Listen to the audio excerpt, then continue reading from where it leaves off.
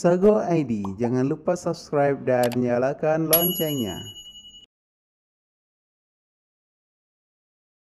Kalau ditanyakan apa itu KKR, sebenarnya ini adalah sebuah lembaga penegakan hak asasi manusia yang terjadi di masa lalu. Dia adalah mandat dari MOU Helsinki, artikel 2 ayat 3. Lalu kemudian eh, artikel ini dituangkan ke dalam Undang-Undang Pemerintahan Aceh pasal 229 dan seterusnya. Um, lembaga ini memiliki tiga mandat. Yang pertama adalah uh, pengungkapan kebenaran, yaitu mencari informasi selengkap mungkin tentang korban, pelaku, dan segala sesuatu yang terjadi sekitar peristiwa pelanggaran HAM yang terjadi sejak 1976 sampai ditandatanganinya MOU Helsinki pada 15 Agustus 2005 um, dalam perspektif hak asasi manusia uh, ini adalah dua lembaga dia adalah sebuah lembaga yang saling melengkapi dengan Komisi Nasional Hak Asasi Manusia.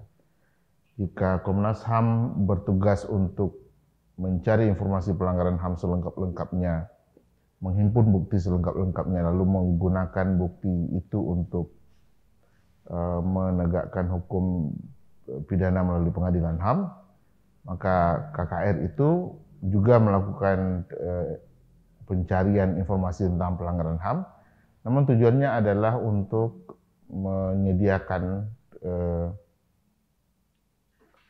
pembelaan kepada korban. Jadi sasarannya adalah korban kalau di KKR itu.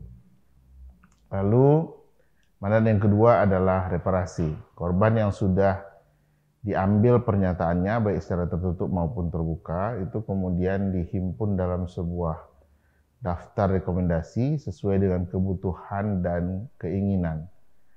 Pertanyaan yang diajukan kepada mereka adalah apa yang Anda butuhkan, apa yang Anda inginkan, hmm, sehingga Anda merasakan sedikit keadilan. Kita tadi sudah paham ya bahwa untuk mendapatkan keadilan dari peradilan itu adalah tugas Komnas HAM. Namun eh, KKR ini berusaha memberikan rasa keadilan kepada korban dengan di luar pengadilan. Dan yang terakhir adalah rekonsiliasi. Jadi tiga, tiga mandat ini adalah mandat utama KKR mengupayakan adanya rekonsiliasi antara pelaku dengan korban, baik pelakunya secara individu, institusi, maupun secara kenegaraan. Saat ini KKR Aceh sedang menjalani periode pertama dari lima tahun e, periodenya, berbeda dengan lembaga lain di seluruh dunia. KKR Aceh ini permanen dia. E, dia tidak lagi menjadi sebuah lembaga yang hanya mengerjakan kegiatannya untuk satu jangka waktu tertentu lalu dibubarkan dan karena itu kemudian kita memiliki beberapa keunggulan ya jadi kita tidak usah terlalu uh, tergesa-gesa dan uh, sehingga kita bisa memfokuskan upaya kita dengan lebih baik kepada uh, pemenuhan hak-hak korban itu.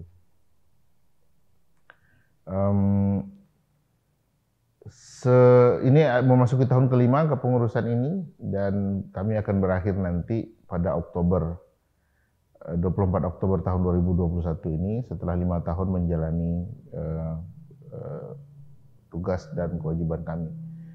Uh, kami dulu dilantik di sebuah sidang paripurna istimewa DPR Aceh pada 24 Oktober tahun 2016. Nah, dalam masa itu KKR Aceh sudah melakukan kegiatan pengungkapan kebenaran tadi dengan mewawancarai dan mendapatkan informasi pelanggaran HAM dari 5.200 orang korban pelanggaran HAM di seluruh Aceh. Jumlah ini masih sangat sedikit dibandingkan dengan mm, jumlah aslinya. Jadi kita ketahui bahwa eh, Pak Azwar Abu Bakar ketika beliau menjadi gubernur, beliau pernah mengatakan bahwa korban pelanggaran HAM di Aceh sejak masa DOM sampai kemudian masa beliau menjadi gubernur itu diperkirakan 20 ribu. Beliau punya 20 ribu data. Jadi apa yang dimiliki oleh KKR pada hari ini itu hanya seperempat saja. Kita belum memiliki uh, kapasitas dan uh, fasilitas untuk melengkapi ke 20 ribu kasus itu. Makanya saat ini kita hanya bisa mendapatkan 5.200 data pelanggaran hak asasi manusia.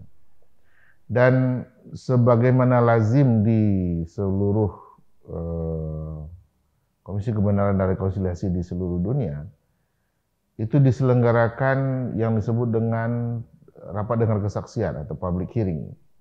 Dalam kesempatan ini, korban e, dipilih, lalu kemudian muncul di depan publik dalam sebuah acara yang diselenggarakan oleh KKR, dan menceritakan kisahnya, apa yang terjadi ketika peristiwa pelanggaran HAM itu dilakukan. Kita sudah melakukan public hearing ini tiga kali. Yang pertama adalah pada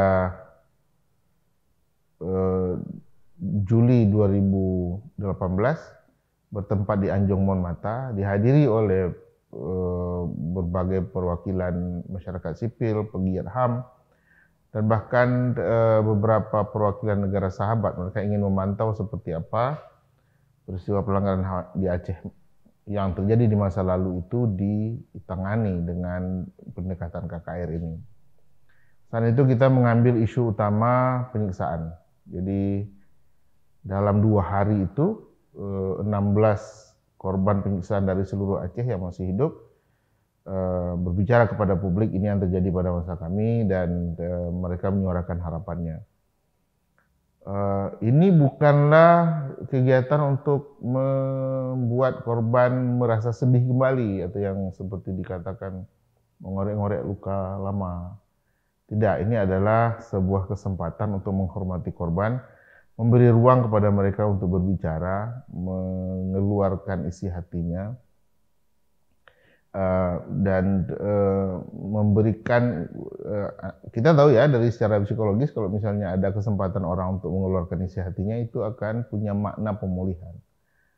Jadi keraguan skeptis yang diutarakan oleh berbagai pihak ketika kita mulai mengerjakan pekerjaan ini bahwa KKR itu tidak ada gunanya hanya akan membuat korban trauma lagi atau mengungkap luka lama dan seterusnya. Tapi dari berbagai dari 5.000 orang yang itu yang kami terus menerus pantau sampai hari ini tidak ada yang keberatan Eh, karena ya kami melakukannya dengan tahan asas. Pertama adalah asas kesukarelaan itu. Orang yang kami temui untuk diambil pernyataannya bukan 5.200, mungkin sampai 10.000. Tapi beberapa di antaranya mengatakan jangan wawancara saya, saya tidak sanggup. Nah yang ini kita tidak lanjutkan.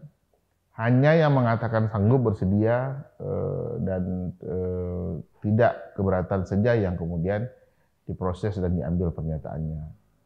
Ini membuktikan bahwa mengorek luka lama itu dengan tujuan untuk pemulihan itulah yang kita lakukan, bukan sekedar mencari sensasi, membuat suasana yang sudah damai itu menjadi rusak perdamaiannya, bukan bagaimana membuat korban itu sedih kembali sehingga bisa dieksploitir dan sebagainya. Tidak tidak seperti itu.